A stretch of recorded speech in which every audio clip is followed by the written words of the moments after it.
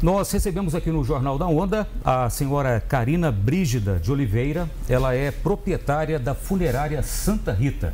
Karina, bom dia, seja bem-vindo ao Jornal da Onda. Bom dia, muito obrigada pelo convite para poder estar aqui expressando a minha indignação com o que ocorreu, né?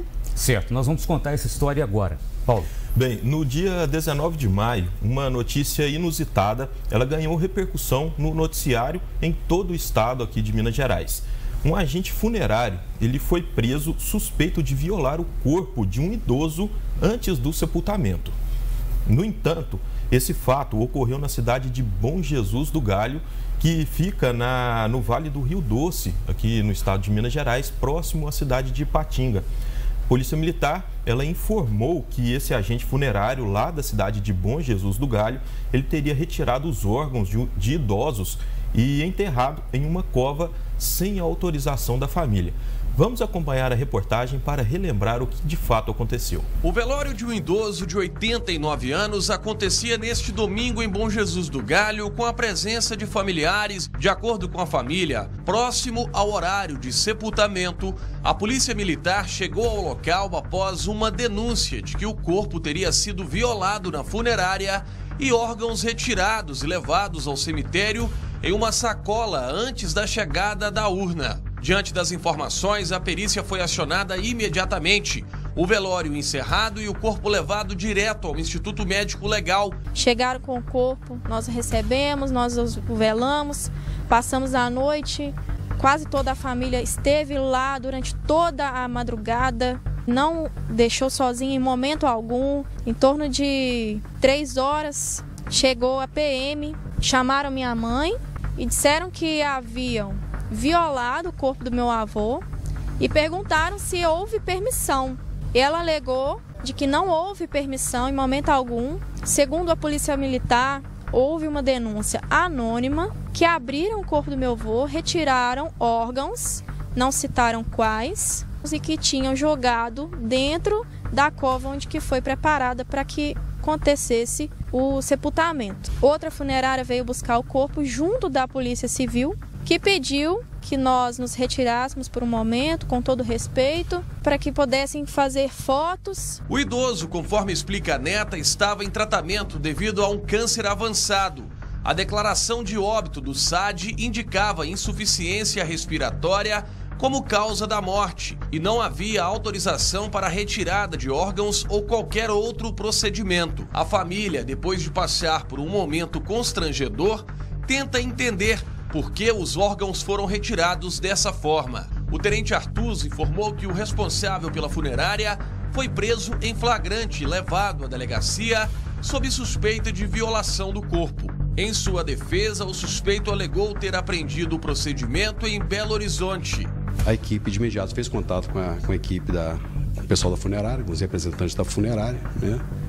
É, o prenderam em flagrante, com base na Lei 9.474, seu artigo 14, onde prevê, tipifica como crime essa conduta, né? que é retirar dos órgãos e de, de, das pessoas, de, do, né? dos corpos. Entrei em contato com, com o representante, com o proprietário da, da funerária. Relatou que fez um curso em Belo Horizonte, que durante esse curso eles aprenderam essa prática, essa conduta, né? De retirar os órgãos e fazer e enterrá-los à parte na cova, no mesmo local onde o corpo né, é enterrado. Então é prática deles fazer essa, essa conduta e essa lei tipifica essa conduta como crime. Né?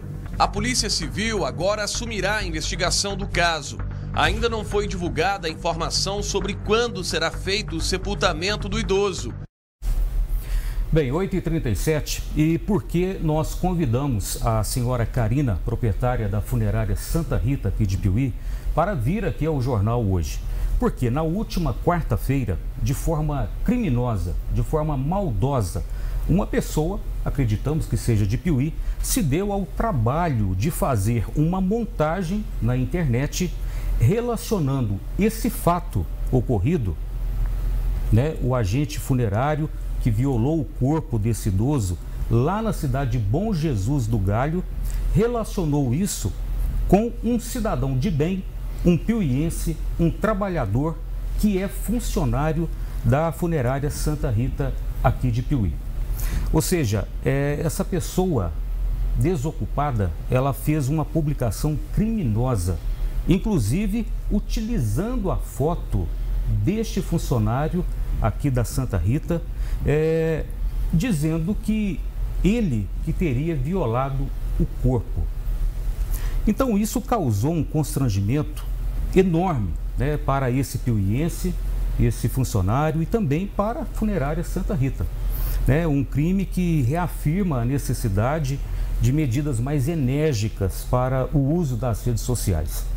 Eu já cumprimentei a Karina e eu quero dizer, Karina, a nossa solidariedade a você como proprietária, ao, ao funcionário né, que sofreu vítima aí de fake news e a todos da funerária Santa Rita por esse lamentável episódio, acontecimento e o espaço aqui está aberto para a senhora comentar isso, essa trazer a indignação né, de toda a equipe da funerária Santa Rita em relação a esse fato que aconteceu.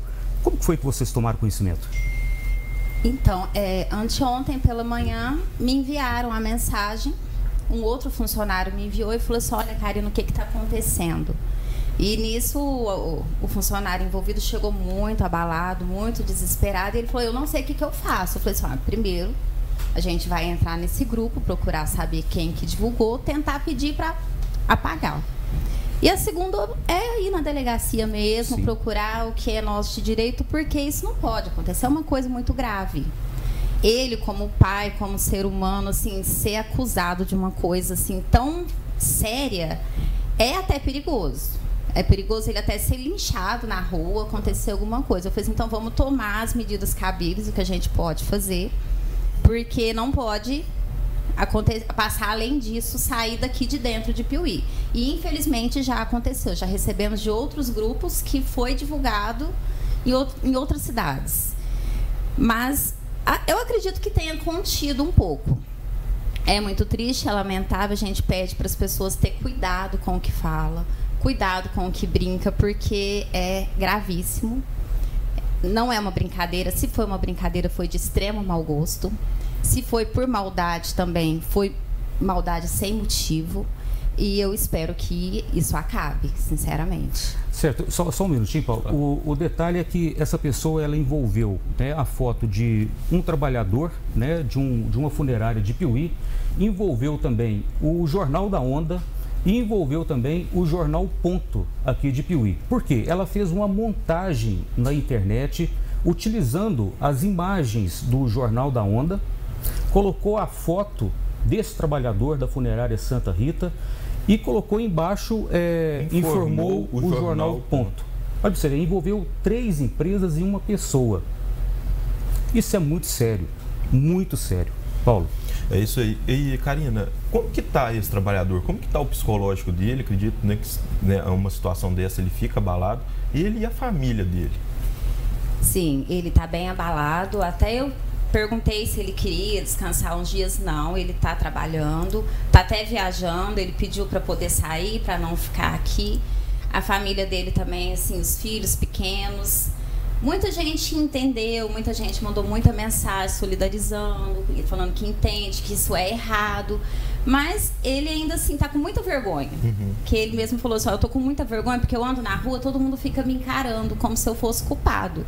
E parece até que ele soltou uns, uns áudios nos grupos da cidade pedindo desculpa, explicando que não foi ele porque realmente foi uma situação claro. inesperada, né? E quando a pessoa ela é acusada, né, ela já é julgada pelos tribunais da internet, é, fica muito difícil depois da pessoa mesmo provando sua inocência, como é esse caso aqui, que não tem nada a ver com isso, que foram, como bem o Edgar explicou, três empresas né, envolvidas nessa questão de fake news, a proporção não é a mesma, né? Ele, para muitas pessoas, ele já é culpado e pronto, e acabou, né? É isso mesmo, as pessoas julgam o dano já tá sem tá ela vê a mensagem ruim, mas não vê as boas que vêm depois, Sim. o a argumentação provando que é inocente, ela só vê a ruim. Infelizmente, Exato. isso acontece. É, eu me, me chama a atenção também, a partir do momento que essa publicação ela é feita num grupo de WhatsApp, é, o, o, administrador do grupo ele teria que tomar uma medida Sim. emergencial urgente para conter isso. Né? Claro. Né? O banir aquela pessoa dali, denunciar. ou ele mesmo apagar a, a mensagem, denunciar isso, porque não é brincadeira. Olha para você ver, um cidadão de bem, pai de família, trabalhador, está tendo agora que provar que ele não cometeu nada do que foi divulgado. Né? Estava no, no exercício da sua função tranquilamente com a sua família e é surpreendido com uma mensagem dessa, né? divulgando aí, é, associando ele a um fato que sequer ocorreu aqui em Piuí ou na região.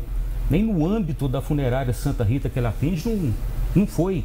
Foi na região do Vale do Rio Doce, bem longe, perto de Ipatinga e a pessoa de forma maldosa, porque isso não é brincadeira, eu não considero isso como brincadeira de maneira alguma, fazer uma associação desse tipo e submeter né, um cidadão de bem a uma, uma situação como essa. Karina, quanto tempo ele trabalha com vocês lá? Ele está com a gente já tem seis anos. Ele começou novinho e continua com a gente. Ele é um excelente profissional, é, muito sim, se dá bem com todo mundo, um ótimo colega, ele atende muito bem as famílias, assim, não tem motivo nem para ter feito essa brincadeira com ele e com nenhum dos outros, porque assim, são todos muito sérios, levam muito a sério a profissão deles, o trabalho deles, têm respeito com todo mundo e é isso, uhum. excelente pessoa. Ô Karina, é, antes né, da gente começar a nossa entrevista, você disse que foi tentar, né, foi visto em um grupo de WhatsApp, tentou entrar em contato com uma determinada pessoa ali. E então vocês já têm o nome dessa pessoa, desse possível é, pessoa que fez isso? Vocês pensam em, em, em, entrar com alguma medida judicial ou apenas levar, levar para a polícia, fazer algum tipo de investigação? Porque a Polícia Civil ela tem alguns meios também de poder tentar identificar, né, de tentar puxar o isso. IP, né, a identidade aí digital da onde que veio essa possível, né, do possível local de onde veio essa fake news? Sim, a gente já procurou a delegacia, a gente fez o boletim de ocorrência e foi informado que tem a polícia cibernética que, Sim, que busca exatamente esses crimes. E eles vão investigar para a gente ter ali na mão realmente provar. Porque não adianta falar, eu isso, acho. Isso, a gente precisa provar. E a gente vai buscar assim, isso não vai ficar assim, não. A gente vai encontrar.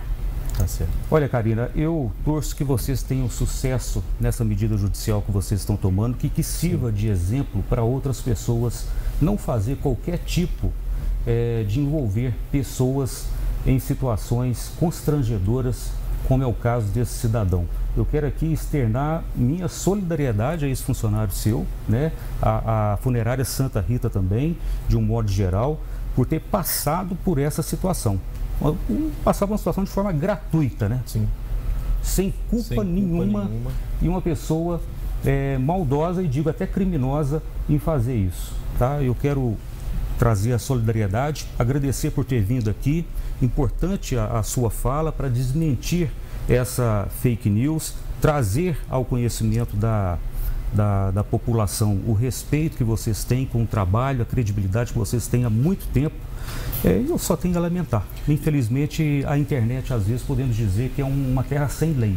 E, e também né, aproveitar esse, essa entrevista, aproveitar essa divulgação para você que receber esse tipo de notícia, receber, se caso né, você receber essa fake news, você aí nos seus grupos, né? Fale, essa notícia é falsa, esse rapaz ele, é um trabalhador de bem, uma pessoa de bem. Esclareça, né? Entre em contato com o administrador do seu grupo.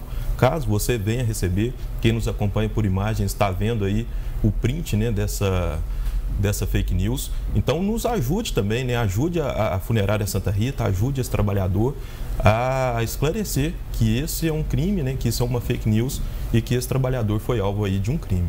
É, e não, não só informe, mas denuncie, denuncie também. Né? Chame o administrador do grupo, mostre, mostre, mostre para ele e se não surtir efeito, denuncie.